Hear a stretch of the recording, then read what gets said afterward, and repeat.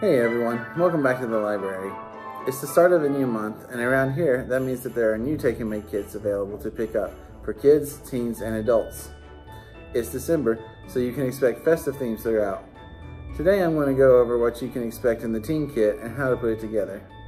This month's teen kit is a hot cocoa tree ornament. In the kit, you'll find a clear globe ornament, a pouch of hot cocoa mix, a bag of marshmallows, and a candy cane.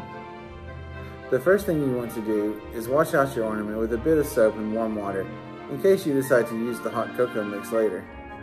Make sure it's completely dry before you put anything in it. Putting the ornament together is fairly simple. Your first step is to pour the cocoa mix in. You can do this by carefully tilting it in from the corner of the bag. If you want a less risky method, you can make a funnel out of a piece of paper by rolling it in on itself. Then you can use the funnel to pour the mix into the ornament. To do the same thing with your marshmallows, you can just poke those in through the hole on the top. You can either put them in before or after your candy cane pieces, depending on how you want it to look. Next, you want to crush down your candy cane into small pieces. You can make them as big or as small as you like, but make sure they'll fit into the ornament.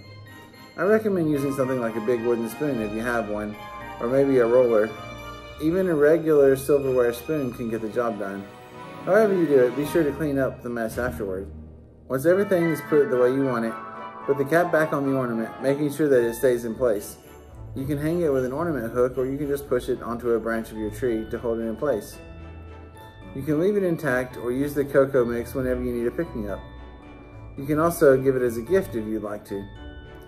However you choose to enjoy your ornament, I hope it brings you a little holiday cheer. Thanks for watching everyone. We'll see you next time.